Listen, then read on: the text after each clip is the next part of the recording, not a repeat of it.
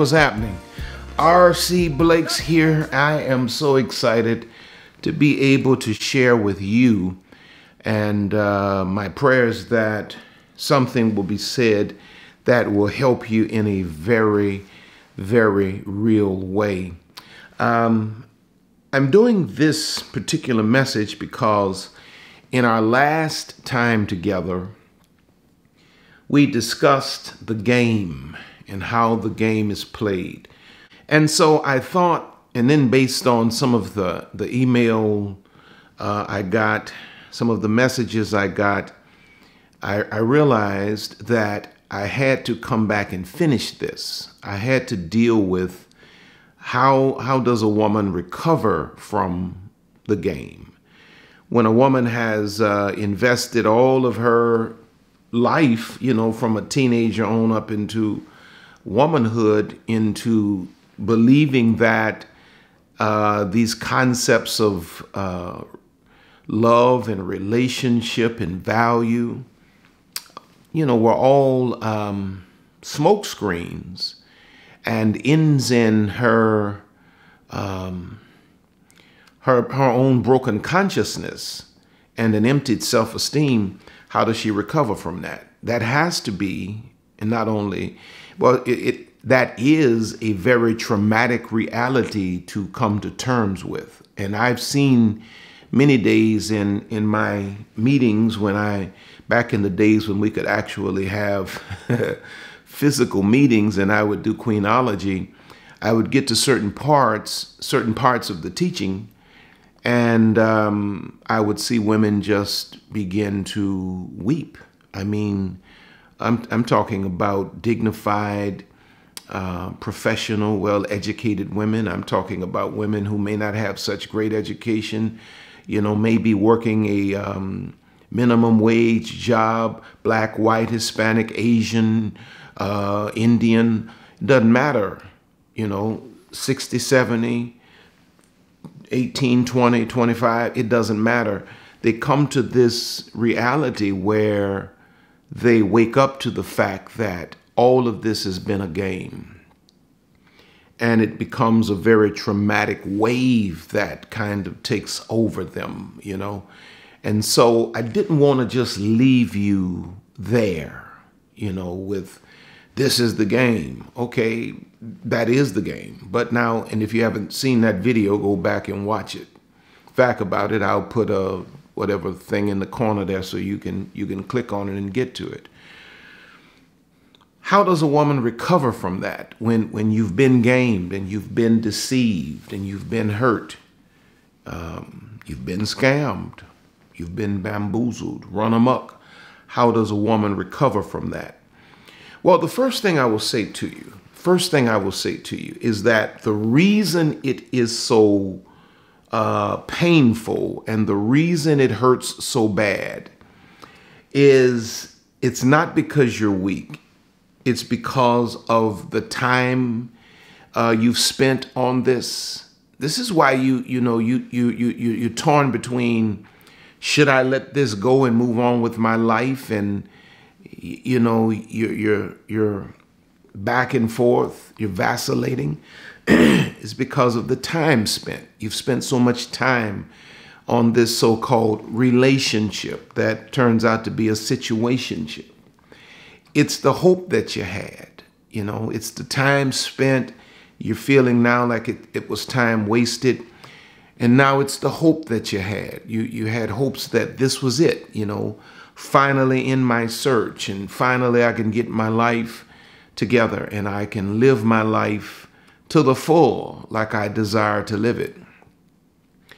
Uh, and then it's the the future plans that you had. You had so many plans for for you and so and so. And now to, to come to the reality to finally wake up and realize that so and so was never really on the same page, but he was just really uh, in a transactional mode. He was in it for what he could get out of it, and he was just running game.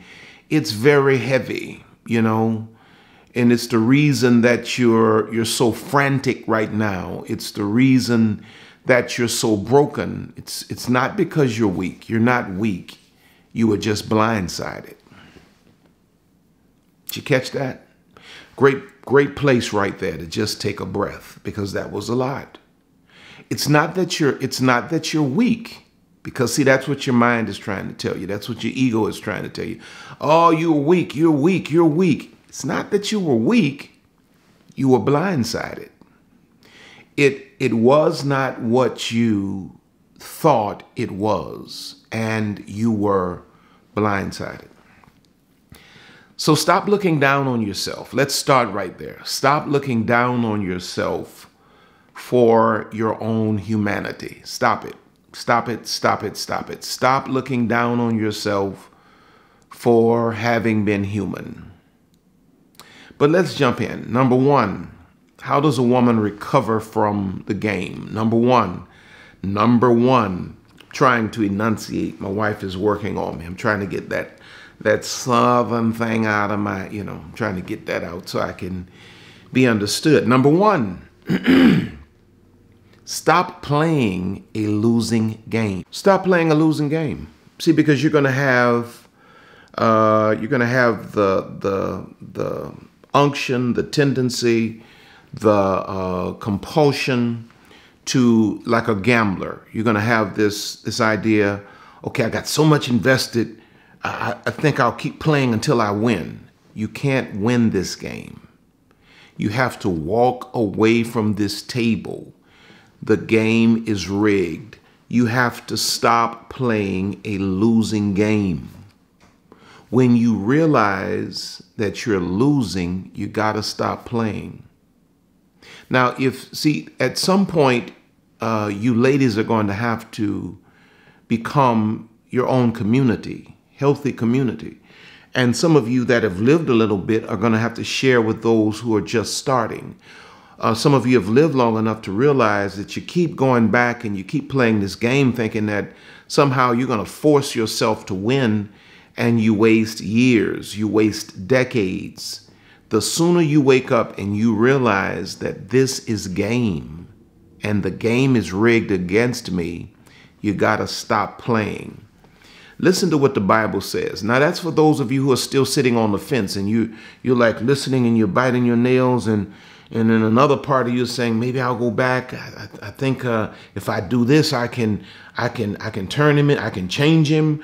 Uh, I can make him love me. If I give him more sex, I can make him love me. If if I lose some weight, I can make him love me. You know, if I if I get some um, what is it plastic surgery and look younger, I can make you, you can't. It's a losing game. You got to stop. Once you realize that you're in the middle of a rigged system, you have to stop playing the game. If if you want to recover from the game, you can't recover from the game while still in the game. If you ever looked at a any any professional sport, football, basketball, baseball, somebody gets hurt, they don't they don't leave them on the field.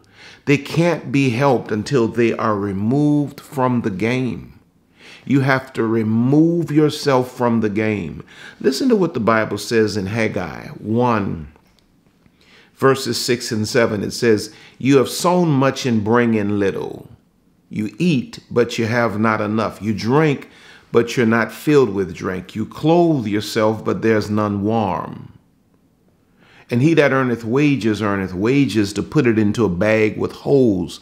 Thus saith the Lord of hosts, consider your ways. Think about just, you know, for a minute, step outside of this experience of me talking to you and begin to think about what you've invested, what you've done, what have you gotten back for it. Consider your ways. It's futile to stay in a situation that has proven to you over and over and over and over again, you come up on the losing end. That's a lot of hard truth. You probably need to take a breath right there because that's kind of that's like a gut punch, but it's it's a necessary truth that you need to hear. You're not going to turn this around. This is not going to turn into a fairy tale. This was a nightmare from the beginning. So you separate yourself when and we start talking about stop playing a losing game. Practically, this means that you separate yourself from the source of your problem. I call it in one of my teachings, separating yourself from the source of, of your poisoning.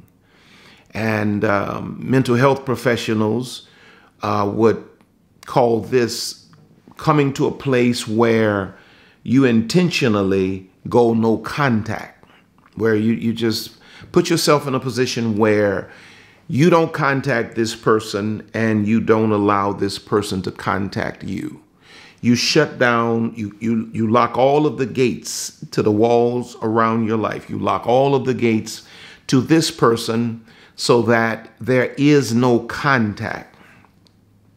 Now, no contact is the start of no impact. If you want to get, if you sincerely want to get to the point where this person that has wrecked your life no longer has an impact on you, you have to make up your mind to embrace the tough choice to go no contact.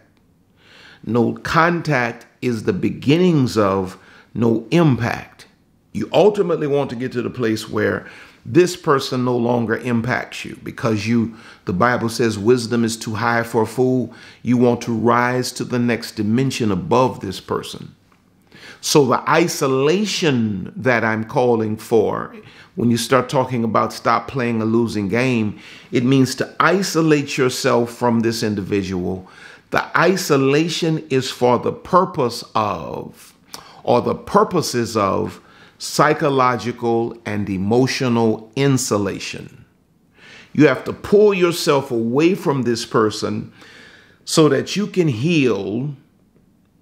And, and that not only must you heal, but then you have to reinforce. You have to insulate your soul, your mind, your will, and your emotions so that when you encounter this person again or people like this person, you are no longer the same gullible individual, but you've been transformed by the renewing of your mind. See, right now, this is the process of what? Renewing your mind. Though some of the things I'm saying to you may make you want to cut this thing off and not hear this. Uh, your mind is being renewed, and that means what? You're being insulated. But we can't insulate your soul until we get you separated. The Bible says it this way Come out from among them and be ye separate, saith the Lord, and I'll receive you. So the isolation is for the purposes of psychological and emotional insulation. It's where you can go back into a toxic culture as, as a healthy and whole queen conscious woman, and you cannot be impacted by this culture because your soul has been insulated.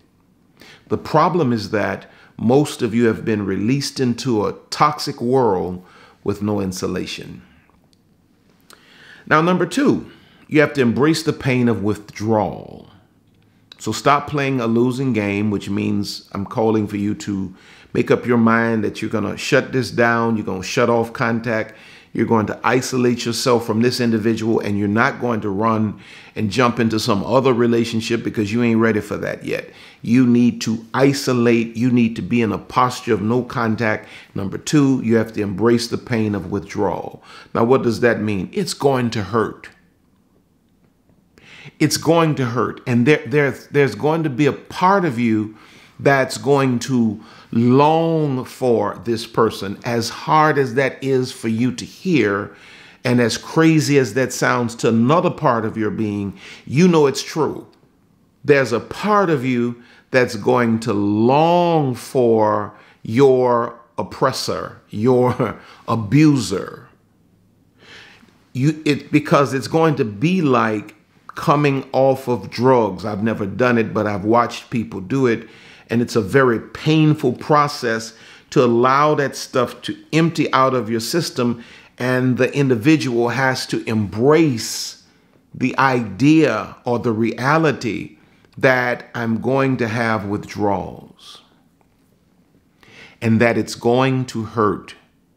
For me to break this break out of this broken consciousness and to step into my queen consciousness that I am no longer a PhD woman manipulated by GED men, a queen being run by a clown. It's going to hurt as I shift levels, but pain, I've heard it said, is weakness leaving the body. That's what they say in the gym.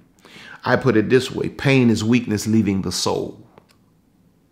Sometimes the indication that your soul is healing and that you're growing and moving into a healthy place is the pain you feel. Um, another way I put it, which is my own, uh, I coined this let your heart break and your soul will heal. Let your heart break and your soul will heal. There are some things in life you just have to accept it. The only way I can get to this level, the only way I can break out of this bondage is to embrace this pain. And listen to what the Bible says in 1 Peter 5 8 through 10. He says, Be sober, be vigilant, because your adversary, the devil, as a roaring lion, walketh about seeking whom he may devour whom resist steadfast in the faith, knowing that the same afflictions are accomplished in your brethren that are in the world. But the God of all grace, who hath called us unto his eternal glory by Christ Jesus, after, listen to the principle, after that you have suffered a while, he will make you perfect, establish you, strengthen you, and settle you. There's more in this process than pain.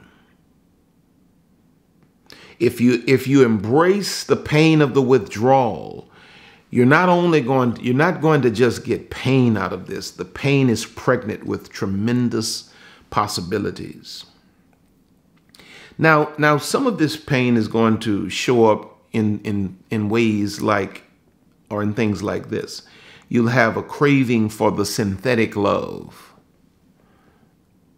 In other words there will be a craving in you for that fake pseudo love that you accepted for so long that kept breaking you and kept diminishing you and kept emptying your self-esteem even more kept separating you from yourself. It was all it was never real. It was always a synthetic love. And there will be a craving in you for that synthetic love. And you will have to remind yourself this was and still is synthetic. It's not real. It's not real. It was always a dream. It was never reality. And then you're going to have you're going to also have feelings of shame and guilt. This these are going to be some of the some of the pains of of withdrawal, the craving for that synthetic love. You know, I want it, I want it because it's watch this. The reason you're going to crave that synthetic love is because it's all you've ever known to be love and you're afraid if I let this go, there may not be anything other than this, which is where a lot of you are. You have become so cynical about life. You think that the stuff you've experienced is all there is. So you make statements like, um, all men are dogs. There's no such thing as, as uh, you know, this or that. And the reality is, you got to allow yourself to go through the withdrawals to get that out of your system and then you have to understand that you're going to have these feelings of shame and guilt. You're going to be shamed that um, you allowed a person that uh, is so, um, what's the word I'm looking for? Um, shallow, uh, depleted of character, depleted of, uh, depleted of character, inferior, you know, many times inferior intellectually and spiritually, you're going to be shamed that you allowed this person to get such a, a grip on you. But it really was never them. It was the it was the the fake dream that the system has set you up to pursue. and the system conditions you to fall prey to someone like this. So you're going to have feelings of, of guilt and shame. But let me say this to you let your pain be your proctor. And just take a breath right there. What is a proctor? It's really like an instructor, teacher. Let your pain be your teacher. Let your pain be your guide. Don't don't only don't only take the hurt from the pain, but take the lessons. Because there are jewels. There are jewels in your pain and, and in your shame, and they're called lessons. They're called lessons. Listen to what the Bible says in Proverbs 1 20 through 23. He says, Wisdom crieth without, she uttereth her voice in the streets. She crieth in the chief place of concourse, in the openings of the gates. In the city she uttereth her words, saying, How long will ye simple ones, will ye love simplicity? And the scorners delight in their scorning, and fools hate knowledge. Turn you at my reproof. Behold, I will pour out my spirit unto you. I will make known my words unto you. Wisdom is always crying out. And quite often, the megaphone of wisdom is your painful experience. If you stop for a minute and if you just embrace the pain and you look through the pain for the lessons, you discover that everything you need to learn is contained in the pain that you're experiencing. Most people ignore and miss the miss the teacher in the pain because of the pain itself. You're so busy trying to get rid of the pain. Sometimes you got to feel it to heal it. You have to embrace it and go through it and look deeper and say, Now, God, what are you teaching me through this? What do I need to learn that I don't go through this again? This is how one woman can go through it and come out of it while another woman goes through it time and time and time and time and time and time again. She keeps feeling the pain, but she never learns the lessons. So you have to embrace the pain of withdrawal. Number three, you have to unlearn and relearn. The stuff that you've learned clearly ain't right. The stuff that you've learned clearly ain't right. Number three, you're going to have to unlearn and relearn. The things that you've been taught about um, what makes a woman attractive. You have to unlearn that stuff. And you have to ask yourself a question like, attractive to who? You know, attractive to who? You know, okay, I'll give you I'll give you a real one. You've been taught that a woman needs to go out in public just about half naked to the point that most of y'all are comfortable with that. You know, where your your, skirt is just about showing all the cheeks of your, and some of y'all do it actually. You know, all of this out and everything, and nothing holding nothing together, and you out in the street, and they taught you they taught you wrong. They taught you that that's going to attract a man. That may attract a man, in fact, it will attract a man, attract a little little little man child, little boy.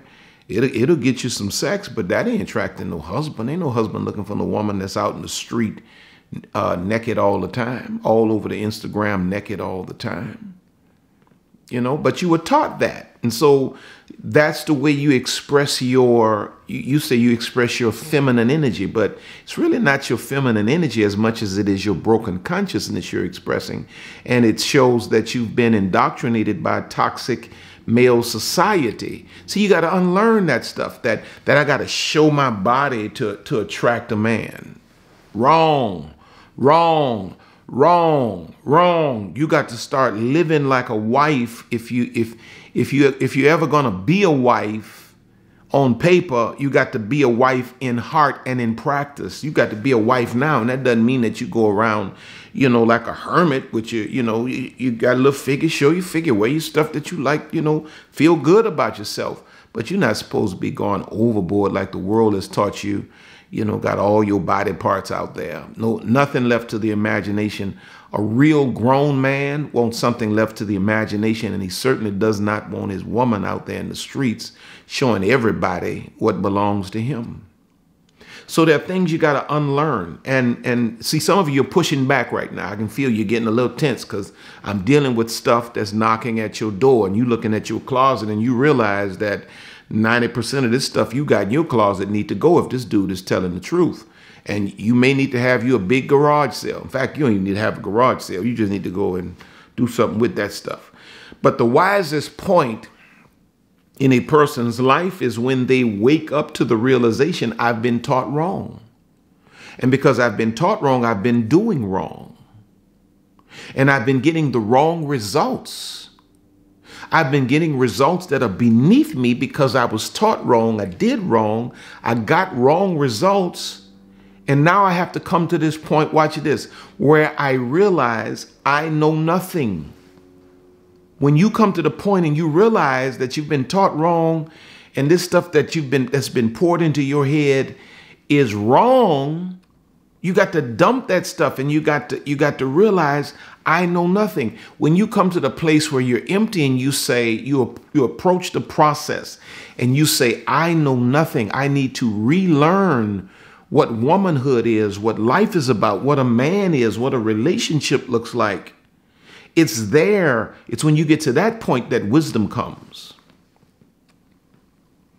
Now, now some of the stuff that you've got to unlearn is you got to uh, let me see how I wrote it. You have you must reject false metrics of value. You have to reject the world's false metrics, how you measure something of value, how the world values you or puts a value on you.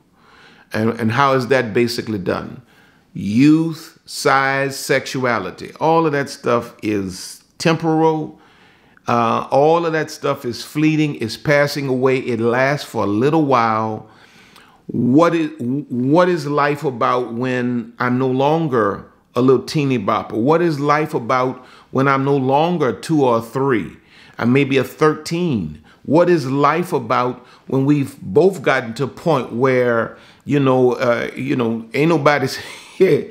Ain't nobody really that focused on the sexuality no more. We just basically focused on taking care of one another and trying to build a future for our children and our grandchildren. These are false metrics. Where the world says if you're not a certain age, if you're not a certain size, uh, if you're not sex, if you're not, uh, if, if you're not leading with your sex appeal, if you're not showing me something, showing, if you're not, if you're not revealing something to me, if I can't go to your Instagram, if I can't go to your Facebook and see a little something, these are false metrics. You have to begin to reject that. Your value is in more than your youth. Your value is in is is never in your size your value is in your is, is never in your sexuality. There's a value in that when you when you're married, but but your sexuality as a woman should not be something that you lead with in in in a world where you're single. Because once once you bring a man to the sexual level, and then you you want to back back and you want him to see you for your intellect and your spirit it's nearly going to be impossible because when you stir a man up sexually he doesn't see anything else but sex and so now you want him to see that you i have a brain i have a good heart but you brought him to the sex out of turn so you have to reject false metrics of value you know, it's not your age, it's not your size, it's not it's not how sexy you are. Um, you have to unlearn the programming to jump on command or at command. You know, like like like a circus animal or something. Jump. You know, dude um, supposed to pick you up Friday, didn't even call. Here it is Sunday night at nine o'clock he finally calls it. I'm gonna swing through in a half hour. And and now you tell me, I'm mad with you. How, how much time you say? Half hour. And now you jumping. You like that girl in Coming to America. She I mean, that girl is just jumping and you know just just like a like a circus animal or something like that. You got to unlearn that programming that you just jumping you know to to to the call of every little jive man that has made no commitments to you.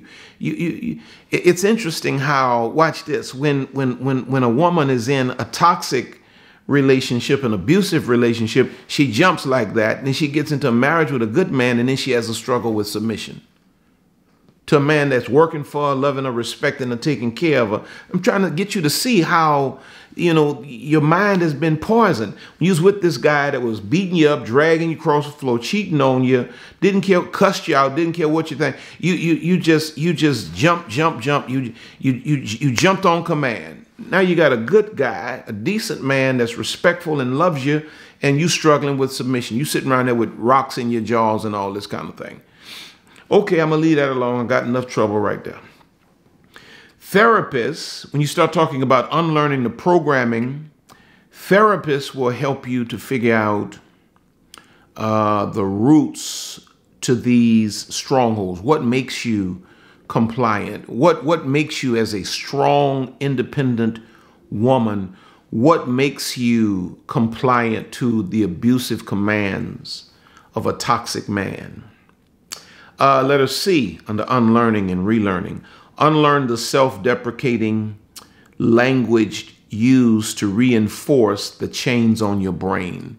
You're using what, what, what the oppressor, what the oppressive, toxic man does is he introduces language into your soul that you pick up and you begin to regurgitate it and not realizing that it's it's reinforcing your own bondage and it's language something that it goes something like this i'm too fat or or i'm too skinny. So you never have you really have never have a, a body appreciation. You know most women are struggling with the way their bodies look. Even women that are small are struggling. They, they think they're too small. Women that are heavier or think they're too heavy. Nobody's ever really content or satisfied with the package that the creators put you in. I'm too dark or I'm too light. You got black women bleaching, you got white women burning up uh, chemicals and all kinds of stuff. Skin cancer because toxic male culture has taught you that you got to stay off balance. You, are never really good enough. I'm too educated. How many of you have backed out of your continued education uh, your, your higher learning because you, didn't want to be more educated than the population of men in your geographical area. So you dumb yourself down, or I'm not educated enough. Uh, here's, here's a good one I'm not sexy enough. And what does that mean? I need to take off more. And then you take off more, then they say, well, you're too sexy. See, you, you got you got to stop. Number one, if a person doesn't treat you right, they're not going to teach you right. Why would you allow toxic male culture to be the proctor or the instructor in your life relative to your womanhood? If I don't treat you right, I'm not going to teach you right. I forget who said that, but it's not mine. You will never please, you got to unlearn now and you got to relearn, you will never please toxic male culture. You'll never please because the oppressor will never empower the, the, the oppressed. The oppressor will never empower the oppressed. You, you can jump through every hoop you can imagine. You can try to check off every list. And by the time you think you got it all done, they're going to create a new list because they want to keep you what? Hopping. You got to unlearn and then number four, uh, let me see how much more I got here. Good God Almighty. Okay, let me hurry up here. Number four, you have to have a formal introduction to yourself. Most of you have not, have never met yourselves. You have no real concept of who you are. Now, when we start talking about having a formal introduction to yourself, this happens in a period where you intentionally dedicate your life to you for a season and you learn to know and love yourself. How many of you watching me right now have never had a season where you dedicated that season to you and self discovery? Because having a formal introduction to yourself is about, watch this, self discovery, self definition, and self development. It does not involve anyone else. Everybody needs a season in life where you have nobody in your life and your focus is on you. Self discovery, self definition, and self development. And see, having a formal introduction to yourself, getting to know you, what you like, what you want, what you don't want, what you don't like. You know what I mean? What makes you happy as an individual? Um, that creates a health in you. And until you you can look at the world through healthy eyes, you will always ascribe, listen to this very carefully. This is why number four is important. Important having a formal introduction to yourself, getting to know you as an individual. Because until you can look at the world through healthy eyes, you will always ascribe value to trash and you will lack discernment of assets. Uh, it's it's not until you get see you know who they are and you know what they want and what they said, but who are you? What do you really want? What do you really have to say about this? There are a few things that I jotted down relative to developing uh, what I call a relationship with yourself. Number one, learn and scrutinize your history. You, you, you learn a lot about yourself when you begin to really look at your history and what you've gone through. It will teach you a lot about why you think the way you think and why you um, react the way you react why you accept the things you accept. You can really do a lot of self therapy if you just if you just really look over and scrutinize your history. Uh, second thing is that you got to embrace. You need to embrace the ordained seasons of of self selfishness. All of this is under number four, where we're talking about having a formal introduction to yourself. You got to have this season of selfishness where it's all about you, you know, and, this is where you what discover who you are. This is about self discovery and self development. This is not a narcissistic trip. This is about self discovery and self development. I can't really appreciate you until I really know who I am. And then, then I put under there, you got to ask the questions that reveal your core. There are questions that you need to ask yourself. Um, what lingering hurts have I allowed to define me? Write that down and think about that tonight. What lingering hurts have I allowed to define me? What are my weaknesses and what are my shame? What is my shame? What are my guilts? Because those things are what? Poisoning you and preventing you from being functional. And then ultimately, you need to ask yourself the question Who am I? Why do I exist? What do I want? What makes me happy? What is my what is my um, contribution to the world. See, when you start thinking like this, you realize that all of this energy you've been putting into all of these fake relationships has been a waste of time on, on things that are not priority. Priority is that you find and discover you. The reason you keep choosing wrong is because you don't know who you are. And when you don't know who you are, you accept anything that comes because you have no boundaries. And then number uh, five, I guess this is, is this five? Uh, so much here, y'all. then number five, um, you got to learn to appreciate actual value. And I'm done. You have to learn to appreciate actual value. And all of this is how does a woman recover from the game? Stop playing Stop playing a losing game. Number one, you realize that that you're losing. Stop playing. You got to know when to fold them, know when to hold them. Number two, embrace the pain of withdrawal. It's going to hurt you to change the level of your consciousness. Embrace it. The pain does not last, it's temporary.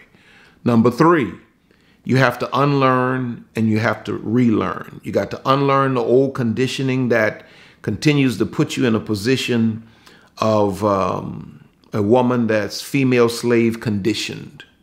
Number four, you need a formal introduction to yourself. The kind of energy that you've put into meeting and knowing other people is the kind of energy you need to give to actually knowing yourself and your purpose and finding um, finding out why the creator made you and put you here on the planet and then do that marry your purpose marry your purpose marry your purpose but you can't do that until you have a formal introduction to yourself and then number five you have to learn to appreciate actual value now, that's a big one for me because I, I think I'm getting ready to, to start digging a little more into what you're attracted to as a woman and why are you attracted to it.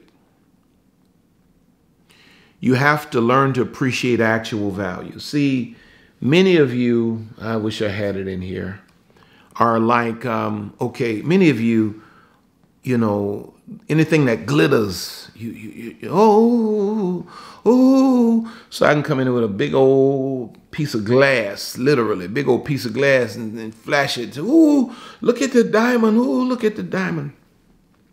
But you see, a jeweler who's at a different level of consciousness and intentionally looks deeper because the jeweler understands that you can't determine value by the flash.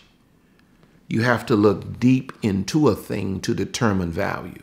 So everybody that's teaching you that your value is on the surface. Uh-uh. You go to a jeweler and you bring a, a so-called diamond, he's going to pull out a thing called a loupe.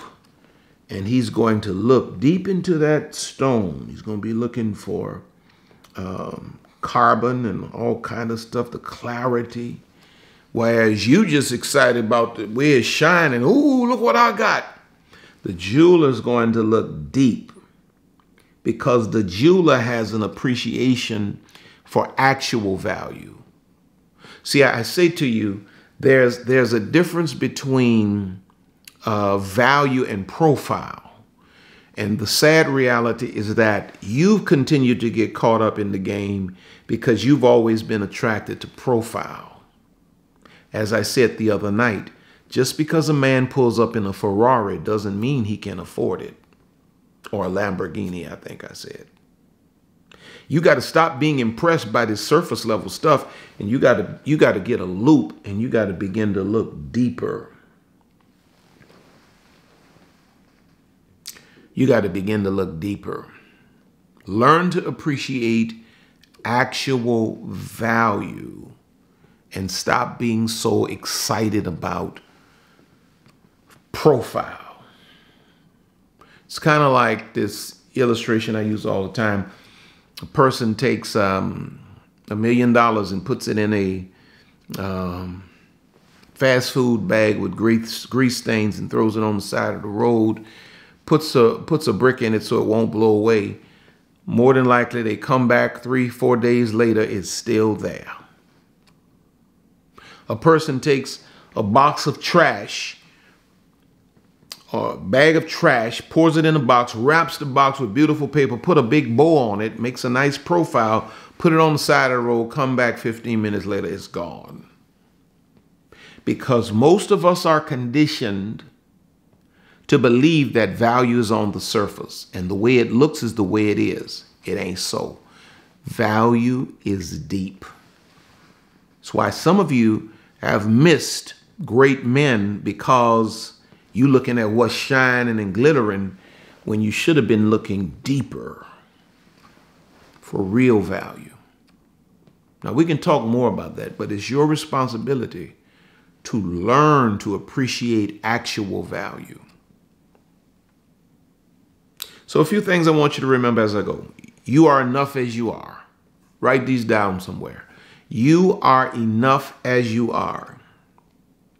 Number two, you do not need to perform. Write these down, and these should probably become some of your daily affirmations. I am enough as I am. I do not need to perform for anybody. Number three, the only pressure I should feel is the pressure of competing with the best version of myself.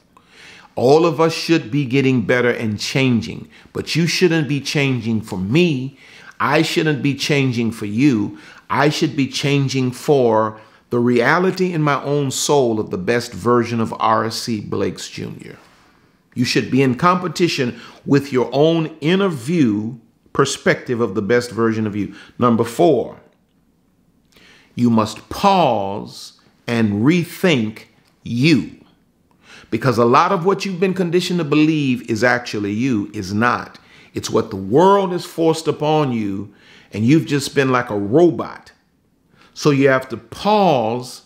Paul, I must pause and rethink me. Who am I? What do I want? What makes me happy? What fulfills me? And then number five, I must be intentional about not being angry. Because when you've gone through this and you've been hurt, you've been broken, you become you become what looks like an angry person, but it's really pain expressing itself. And you want to make certain that you control that because you don't want to project anger onto the world because God is bringing you into new circles with healthier people that are going to treat you differently. And you can't make them pay for what another man did. And so I hope that you've gotten something out of this. This is my response to many of you who emailed me and said, Well, Pastor, how do I overcome? How does a woman recover from the game? Let me pray for you. Father, I thank you in the name of Jesus Christ for the power of the Holy Spirit. I thank you for this time that I've had with uh, these queens and even some kings, dear God. Thank you, Father, that you are supernaturally bringing healing to our hearts. Every place that is broken, you're mending. And I thank you now, God, for doing a new thing in them. I thank you for the testimonials that something shifted in my life. The Holy Spirit did a new thing in me. I thank you, God, for bringing healing and restoration in Jesus' name. Amen. Listen, I need you to do a few things. If this is your first time here, I need you to subscribe. I need you to go to my website and sign up for my um, for my mailing list. I need you to be on that. Uh, don't forget that we are doing Queenology 2.0, the second half. We just did Queenology 2.0 some weeks ago, but we're doing the second part in December. And I call, I'm calling it the second part because when it's all put together, all of the content from both of these conferences is going to make up the next book, The Training for Reigning. So it'll be It'll be like it's like a trilogy. The father daughter talk started it. Queenology was the second message, and then the training for reigning is going to be the third message. And so this conference, this cyber conference in December is going to be the second half of that content, and I want you to be there. There are links in the description. Again, I say to you, I'm no counselor therapist.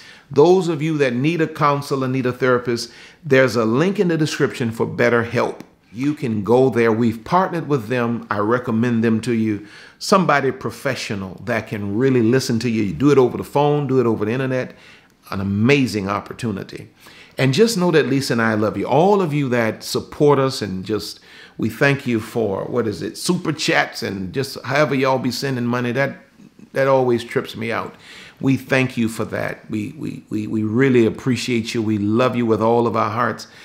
We just we couldn't do it without you. And I just want you to know that I love you and I had to bring this message to you. And I pray that it has helped you. Please share it. Please share it. Uh, get my thumb, get my likes up now. Make certain that my likes up. This helps me to, uh, this helps us to, you know, it works with the algorithm and we want to make certain that we reach as many people as possible. Until next time, I'm R.C. Blakes Jr. Know that I love you. Know that I love you. Know that I'm praying for you.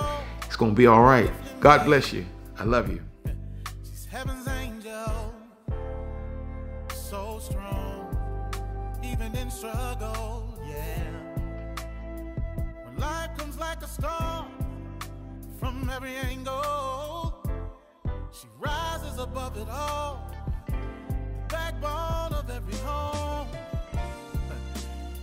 Nothing compares to all she do. Mm, the true meaning of every family. She's the glue.